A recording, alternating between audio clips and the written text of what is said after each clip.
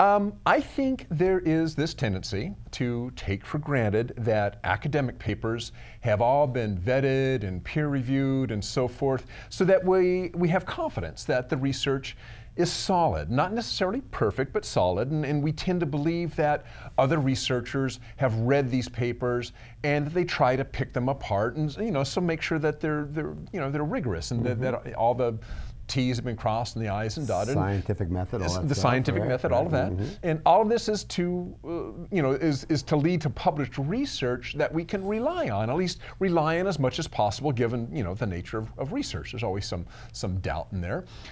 So the Georgia Tech article on one in five materials chemistry papers may be wrong, one in five, caught our attention. A new study that compared the results reported in thousands of papers published about the properties of uh, uh, materials used for carbon dioxide adsorption found that one in five, 20%, had results far beyond the error bars normally used to evaluate study results.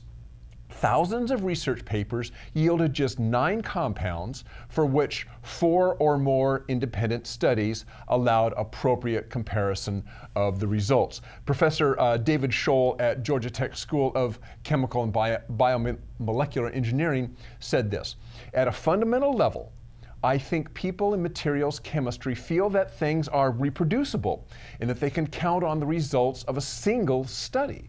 But what we found is that if you pull out any experiment at random, there's a chance, there's a one in five chance that the results are completely wrong. Not just slightly off, but not even close. Wow.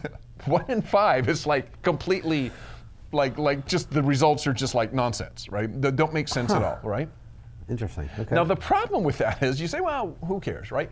Now in some part, in some research, you know, uh, uh, you know, theoretical research, that kind of stuff, the impact of this may be is annoying. Mm-hmm. But here we're talking about materials properties that companies rely on to make decisions. So, you know, the problem is that you may have, uh, you know, a company may, may rely on maybe one or two studies to choose a material that they think is right for their particular application. But if the odds are only one in mm-hmm. five that the study they look at that one in five that the study they look at is wrong, mm. they have pretty good odds of choosing a material that doesn't work for them, which huh. obviously mean that it sends them down the wrong road, and who knows how far down they get into, into their development before they realize, hey, this is just this complete garbage. Yeah. And, you know, this is costly, right? Yeah. If people are depending on this, mm-hmm. this isn't just researchers. This is companies going out finding a paper to make a materials decision, and then making a decision based on that paper, thinking that everybody's done their job, right? Right, okay. right, right. Okay, now,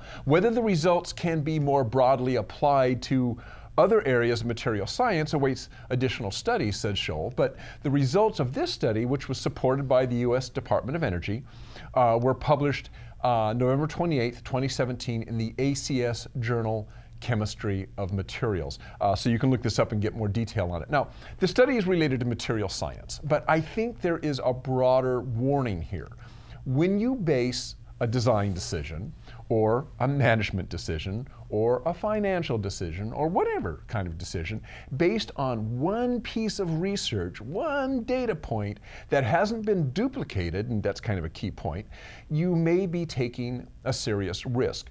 What you want, if you're, if you're looking at research to make your decisions, what you want is research that has been verified by other studies or research where the methodology has been duplicated and gotten the same results. So you either want other people have looked at the same thing, conducted their own experiments, uh, different experiments, come up with basically the same results, or they have taken your experiment and duplicated. It. Because usually in academic papers, they give you the methodology, they give you everything right. so that you can go out and duplicate the same study. Mm-hmm. So you want to see that other people have done that same study the same way and come up with the same results. If you just base things on one data point, no matter what it is, yeah. one research paper, what do you got? You yeah. don't know. And you know, and me as a complete amateur, not even not even really all that uh, well studied of an amateur in this this field, one in five doesn't really seem that outrageous to me. I mean, understanding a little bit about how research works, I mean, they're not saying that this research is an ironclad finding. It's saying our research indicates, generally speaking, right? I mean, it's research. It's not. Well,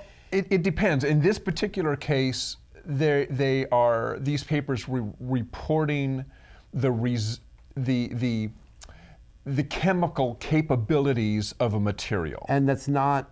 So it was isn't- it wasn't theoretical. isn't It's theoretical, like, not- not it- like this material does, Does this. this. And the fact is that it didn't. So is that? I mean, and I don't want to get too deep into this, but is that is, is the is the intent here that this was just a mistake? That that, that it was sloppy science. That the, edit- the editors didn't take enough it- it was sloppy. look at it. Yeah, it was I mean, sloppy. Who, the blame is, is on the researchers themselves. Well, um, the uh, the blame on the researchers and the blame on, uh, although I don't think he goes into this a lot. Usually, academic papers are supposed to be peer, Peer-reviewed, reviewed yeah. and, and all that kind of stuff. So there is some. I think there's plenty of blame to go around. But also, honestly, just like we said, I said at the end here, some of the blame relies on if you're going to use research. Don't use one piece of research. I mean, I don't know if you remember this. This was quite a while ago. Remember the whole cold fusion? This is a good example of when it's done right.